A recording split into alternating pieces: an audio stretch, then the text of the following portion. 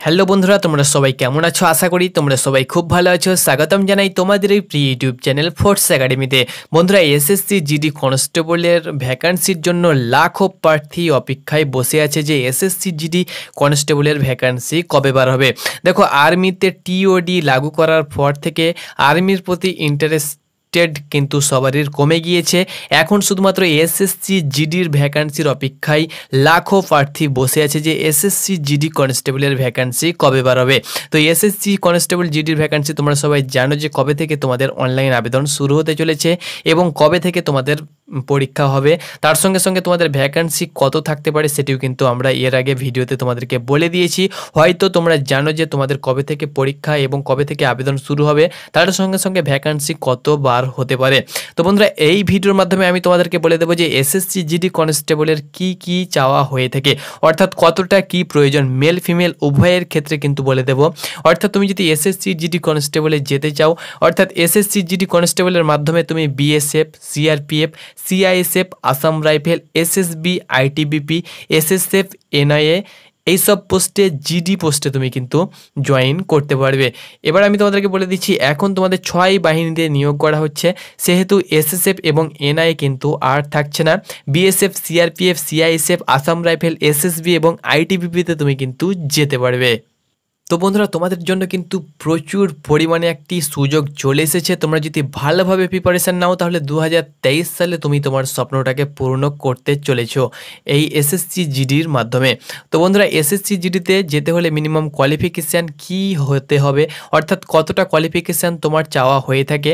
Age অর্থাৎ বয়স কতটা বয়স কত হলে তুমি এসএসসি জিডিতে আবেদন করতে পারবে? ওয়েট মিনিমাম কত কেজি হতে হবে? তার সঙ্গে সঙ্গে হাইট কত সেন্টিমিটার চাওয়া হয়ে থাকে। রেস বা রান তোমাকে কত কিলোমিটার করতে হবে? চেস্ট, নর্মাল চেস্ট কত চাওয়া হয়ে থাকে? ফুলিয়ে তোমাকে কত সেন্টিমিটার চেস্ট করতে হবে? এবং এনসিসি ইএ বি সার্টিফিকেট বা সি সার্টিফিকেট তোমার যদি থেকে থাকে, তাহলে তোমাকে কত নাম্বার বোনাস হিসাবে তোমাকে দেওয়া হবে। তার সঙ্গে সঙ্গে এসএসসি জিডি কনস্টেবলে তুমি যখন পুরো প্রসেস কমপ্লিট করবে, তারপরে তুমি যখন জবটি পেয়ে যাবে, তখন মিনিমাম স্যালারি তোমাকে কত দেওয়া হবে। এইসব তথ্য কিন্তু তোমাদেরকে এই ভিডিওর মাধ্যমে বলে দেবো। ভিডিওটা খুব গুরুত্বপূর্ণ হতে চলেছে। তুমি যদি এসএসসি জিডি কনস্টেবলের প্রার্থী হয়ে থাকো, তাহলে এসএসসি জিডি তুমি যদি প্রার্থী হয়ে থাকো, তো অবশ্যই ভিডিওটাকে লাইক করো এবং এসএসসি জিডি তুমি যদি সম্পূর্ণ আপডেট পেতে চাও, তো অবশ্যই আমাদের চ্যানেলটাকে সাবস্ক্রাইব করো। তাহলে এসএসসি জিডির সম্পূর্ণ তথ্য তোমরা কিন্তু ওয়ান অ্যাসে ফ্রিতে পেয়ে যাবে। কোনো চার্জ তোমাদেরকে লাগবে না, একদম ফাইনাল মেরিট লিস্ট পর্যন্ত। তো বন্ধুরা এসএসসি জিডিতে তুমি যদি আবেদন করতে চাও, তাহলে মিনিমাম কোয়ালিফিকেশান তোমার কি হতে হবে? দেখো এডুকেশান কোয়ালিফিকেশান মিনিমাম তুমি যে কোনো বোর্ড থেকে সিম্পলি টেন পাস যোগ্যতার যদি প্রার্থী হয়ে থাকো, কোনো পার্সেন্টেজ ছাড়াই শুধুমাত্র টেন পাস যদি হয়ে থাকো, তাহলে তুমি কিন্তু এসএসসি জিডি কনস্টেবলে অনায়াসে আবেদন করতে পারবে। বন্ধুরা, এসএসসি জিডিতে এজ লিমিট অর্থাৎ বয়স কত হতে হবে, তাহলে তুমি এসএসসি জিডিতে আবেদন করতে পারবে। দেখো, এসএসসি জিডিতে তুমি যদি যেতে চাও, মিনিমাম ইউআর প্রার্থী তুমি যদি হয়ে থাকো আঠারো থেকে তেইশ বছর ওবিসি এবং এসসি এসটি প্রার্থী হয়ে থাকলে অবশ্যই তোমরা বয়সে ছাড় পেয়ে যাবে। এসসি এসটি হয়ে থাকলে আঠা তোমরা পাঁচ বছর এবং ওবিসি প্রার্থী হয়ে থাকলে তিন বছর তোমরা কিন্তু বয়সে ছাড় পেয়ে যাচ্ছ। অর্থাৎ এসসি এসটি হয়ে থাকলে আঠারো থেকে আঠাশ বছর এবং ওবিসি প্রার্থী হয়ে থাকলে আঠারো থেকে ছাব্বিশ বছর তোমার যদি বয়স হয়ে থাকে, তাহলে তুমি কিন্তু এই ভ্যাকান্সিতে আবেদন করতে পারছ। বন্ধুরা এসএসসি জিডিতে তোমাকে রানিং কত কিলোমিটার করতে হবে? তোমরা সবাই জানো যে এসএসসি জিডিতে তোমাকে পাঁচ কিলোমিটার রানিং করতে হবে, চব্বিশ মিনিট তোমাদেরকে সময় দেওয়া হবে। অর্থাৎ চব্বিশ মিনিট তোমরা ফুল সময় পেয়ে যাবে, চাপ নেবার কোনো প্রয়োজন নেই। তুমি যদি রানিংটা ধরে রাখো, তাহলে অনায়াসে তুমি কমপ্লিট করতে পারবে এবং তুমি যদি থেমে যাও, তাহলে কিন্তু রানিং কমপ্লিট করতে পারবে না। তাহলে তুমি তোমাদের রানিং থাকছে পাঁচ কিলোমিটার, চব্বিশ মিনিটে এটি এটি মেলের ক্ষেত্রে এবং ফিমেলের ক্ষেত্রে আলাদা রানিং থাকছে। তোমাদেরকে বলে দিচ্ছি বন্ধুরা এসএসসি জিডিতে রানিংয়ে কাউকে কোনো ছাড় দেওয়া হয় না। এসএসসি জিডিতে রানিং কিন্তু সবাইকে একই রান করতে হবে। বন্ধুরা ফিমেলের ক্ষেত্রে রানিং করতে হবে ষোলোশো meter one point six kilometer এবং সাড়ে আট মিনিট টাইম দেওয়া হবে এটি ফিমেলের ক্ষেত্রে। বন্ধুরা এসএসসি জিডি কনস্টেবলের ক্ষেত্রে ওজন। দেখো, ওজন কিন্তু আমি তোমাদেরকে নোটিফিকেশান দেখাবো লাস্টে আমাদের কাছে নোটিফিকেশান রয়েছে। সেই নোটিফিকেশান থেকে তোমাদেরকে আপডেট দিচ্ছি। এটা না যে আমরা মন গড়া তোমাদেরকে আপডেট দিচ্ছি। প্রত্যেকটি আপডেট তোমাদেরকে নোটিফিকেশান আমি দেখিয়ে দেবো এবং প্রত্যেকটি আপডেট নোটিফিকেশান থেকেই দিচ্ছি। তো বন্ধুরা এসএসসি জিডিতে মিনিমাম ওজন। দেখো, ওজন উচ্চতা ও বয়স অনুসারে কিন্তু ওজন তোমার হতে হবে। দেখো এসএসসি জিডির যে নোটিফিকেশান সেক্ষেত্রে তোমাদের ওজন কত লাগবে সেটি কিন্তু উল্লেখ নেই। সেখানে শুধুমাত্র লেখা আছে যে ওজন, উচ্চতা এবং বয়সের সামঞ্জস্যপূর্ণ ওজন হতে হবে। অর্থাৎ ছেলেদের ক্ষেত্রে মিনিমাম পঞ্চাশ কেজি এবং মেয়েদের ক্ষেত্রে মিনিমাম যদি চল্লিশ প্লাস ওজন থেকে থাকে, তাহলে তুমি এসএসসি জিডি কনস্টেবলে অনায়াসে ওজনে ফিট হয়ে যাবে। বন্ধুরা এসএসসি জিডি কনস্টেবলের ক্ষেত্রে তোমার যদি NCC A B C certificate থেকে থাকে, তাহলে এই নাম্বারগুলো তুমি কিন্তু বোনাস হিসাবে পেতে চলেছ। অর্থাৎ রিটেন এক্সামিনেশানে বোনাস হিসাবে তুমি আবেদন যখন করবে অনলাইন আবেদন, তখন কিন্তু এনসিসি অবশ্যই তোমাকে সিলেক্ট করতে হবে। তাহলে এনসিসি এ বি সি যেটা থাকবে তুমি অবশ্যই সিলেক্ট করবে, তাহলে কিন্তু এই নাম্বারগুলো পেতে চলেছ। অর্থাৎ এ থাকলে দুই নম্বর বি থাকলে তিন নম্বর এবং সি থাকলে পাঁচ নম্বর কিন্তু তুমি রিটেন এক্সামিনেশানে বোনাস হিসাবে পেয়ে পেয়ে যাবে। এবার বন্ধুরা বলে দিচ্ছি তোমাদেরকে এসএসসি জিডি কনস্টেবলে তুমি যখন জবটি পেয়ে যাবে, সেটা BSF CRPF ITBP Assam rifle যেটা হোক না কেন, তোমার মিনিমাম বেসিক পে দেখতে পাচ্ছ একুশ হাজার সাতশো টাকা থেকে উনসত্তর হাজার একশো টাকা পার মান্থ তোমরা কিন্তু স্যালারি পেয়ে যাবে। এক্ষেত্রে আমি তোমাদেরকে বলে দিচ্ছি, আলাদা আলাদা পোস্টের আলাদা আলাদা কিন্তু তোমাদের মাইনে থাকে এসএসসি জিডির ক্ষেত্রে। আমি তোমাদেরকে বলে দিচ্ছি, একুশ হাজার সাতশো টাকা কিন্তু সবারের ক্ষেত্রে বেসিক পে এছাড়াও তোমাদেরকে আদার্স কিন্তু অ্যালাউন্স থেকে থাকে। তুমি যদি এসএসসি জিডি কনস্টেবলে তোমাদেরকে বলে দেবো কোন পোস্টে কীরকম মাইনে দেওয়া থাকে। তো আমি তোমাদেরকে বলে দিচ্ছি, তুমি যদি মাইনের দিকটা দেখতে চাও, তাহলে তুমি যদি সিআরপিএফ হতে চাও বা সিআরপিএফে জয়েন করো, তাহলে কিন্তু সব থেকে অন্যান্য পোস্টের তুলনায় তুমি কিন্তু বেশি পরিমাণে টাকা ইনকাম করতে পারবে। কেননা তোমরা সবাই জানো যে সিআরপিএফ সব থেকে খাতরা পোস্ট এবং এর যে আলাদা যে তোমাদের নকশাল এরিয়া, অর্থাৎ তোমাদের নকশাল এরিয়াতে সিআরপিএফের যদি ডিউটি হয়ে যায় তাহলে অন্যান্য পোস্টের তুলনায় তুমি কিন্তু সিআরপিএফে কুড়ি হাজার, পঁচিশ হাজার প্লাস কিন্তু টাকা কিন্তু পার মান্থ বেশি পেতে পারবে। তাছাড়াও তুমি যদি জম্মু কাশ্মীরে চলে যাও, তাহলে অন্যান্য পোস্টের তুলনায় ডবল কিন্তু তোমাকে মাইনে দেওয়া হবে। অর্থাৎ তুমি যদি মাইনের দিকটা লক্ষ্য করো, তাহলে তুমি যদি সিআরপিএফে জয়েন করতে পারো, তাহলে বেশি পরিমাণে তুমি কিন্তু টাকা ইনকাম করতে পারবে।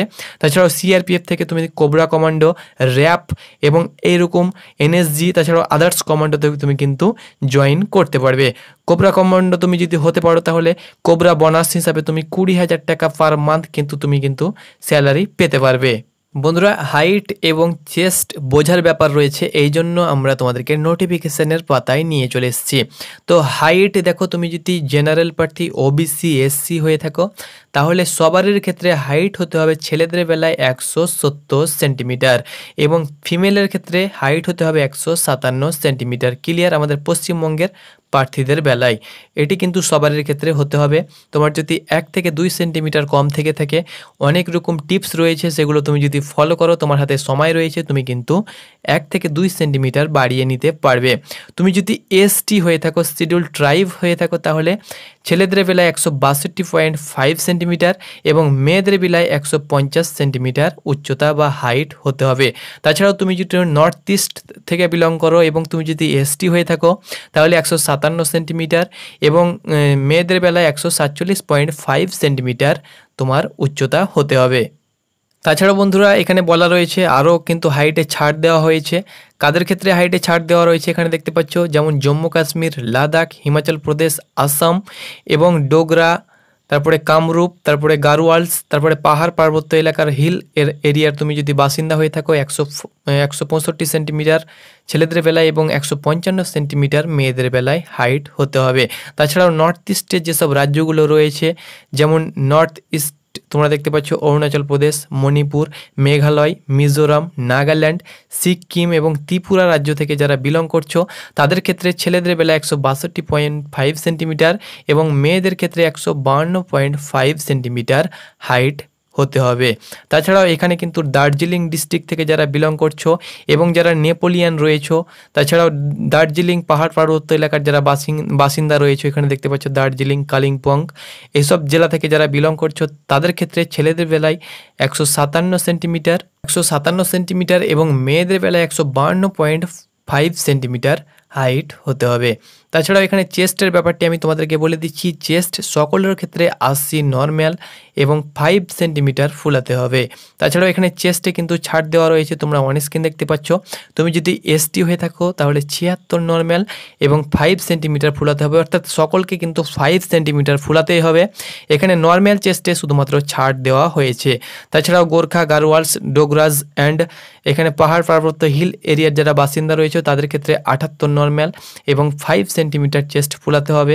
তার সঙ্গে সঙ্গে আসাম, হিমাচল প্রদেশ, জম্মু কাশ্মীর থেকে যারা বিলং করছ, তাদের ক্ষেত্রে আঠা আটাত্তর নর্ম্যাল এবং ফাইভ সেন্টিমিটার কিন্তু চেস্ট ফুলাতে হবে। এবং এখানে আমি তোমাদেরকে বলে দিচ্ছি, যারা দার্জিলিং এবং নেপোলিয়ান রয়েছে এবং হিল এরিয়ার বাসিন্দা রয়েছে, তাছাড়াও এখানে কিছু জেলা রয়েছে তোমরা দেখতে পাচ্ছ। আসাম এবং পশ্চিমবঙ্গের কিছু জেলা রয়েছে, যেমন দার্জিলিং, কালিম্পং এবং এখানে কিন্তু কিছু জেলা রয়েছে। তাদের ক্ষেত্রে সাতাত্তর নর্ম্যাল এবং ফাইভ সেন্টিমিটার চেস্ট ফুলাতে হবে। তো বন্ধুরা হাইট এবং চেস্ট আমি তোমাদেরকে বলে দিলাম। এখানে ওয়েটের ব্যাপারটি কিন্তু বলে দেওয়া রয়েছে। তোমাদেরকে আমি আগেই বলে দিয়েছি যে তোমার যে উচ্চতা রয়েছে এবং তোমার যে বয়স রয়েছে, তোমরা দেখতে পাচ্ছ হাইট অ্যান্ড এজ অনুসারে কিন্তু তোমাদের এবং মেডিকেল স্ট্যান্ডার্ড টেস্ট হিসাবে তোমাদের কিন্তু ওজন নেওয়া হবে। তো বন্ধুরা এটি ছিল আপডেট আমি সম্পূর্ণ তথ্য তোমাদের সঙ্গে শেয়ার করে দিলাম। আশা করি আমি তোমাদেরকে বুঝাতে পেরেছি। তোমাদের যদি কোনো কোয়েশ্চেন থেকে থাকে, তো কমেন্ট বক্স ফাঁকা রয়েছে। সেখানে কোয়েশ্চেন করো, আমরা তোমাদেরকে অ্যান্সার দিয়ে দেব। ধন্যবাদ।